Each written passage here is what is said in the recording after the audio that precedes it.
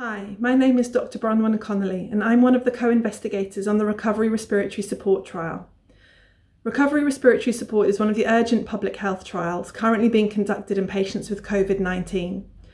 In this trial, we're comparing the effectiveness of different non invasive respiratory support strategies, specifically CPAP and high flow nasal oxygen, compared with conventional oxygen therapy in patients with acute respiratory failure.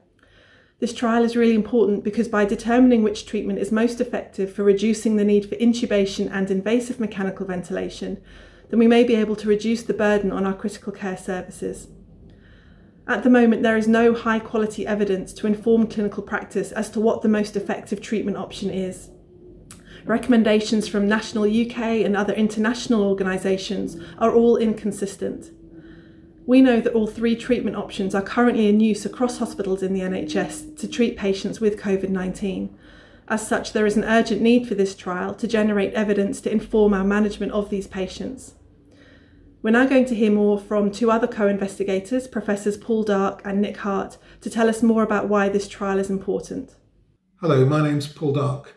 I'm an emergency and critical care physician by background, and I work in severe lung infections and sepsis in the respiratory medicine theme at Manchester's NIHR Biomedical Research Centre.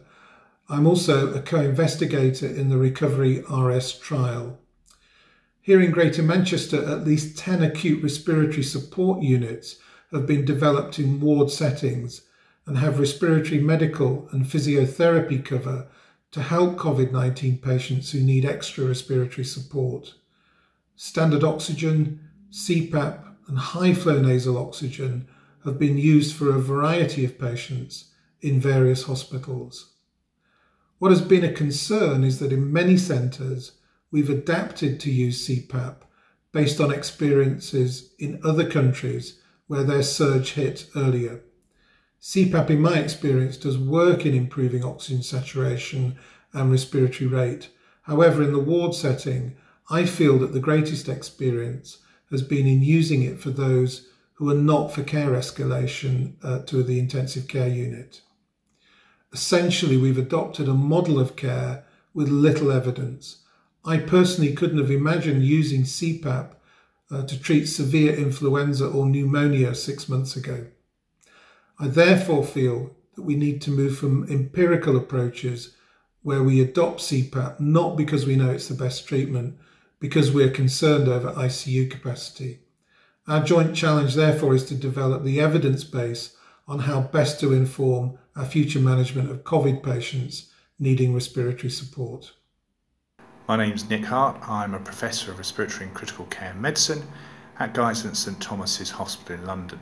I want to talk to you about the Recovery RS clinical trial, which is an important comparator study which will compare non-invasive respiratory support including high flow nasal oxygen and CPAP therapy against standard treatment using timely invasive mechanical ventilation to treat those patients with acute respiratory failure secondary to COVID-19.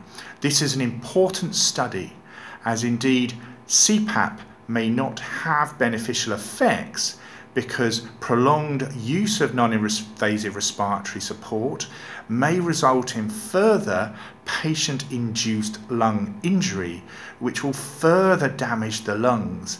And thus, we need this important trial to answer this important clinical question. Thanks, Paul and Nick. Hopefully, this has been helpful for explaining more about the Recovery Respiratory Support Trial and its role in answering a crucial question in the management of our patients with COVID 19.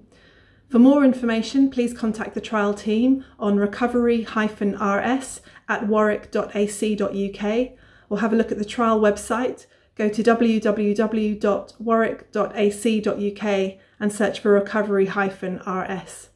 Thanks very much.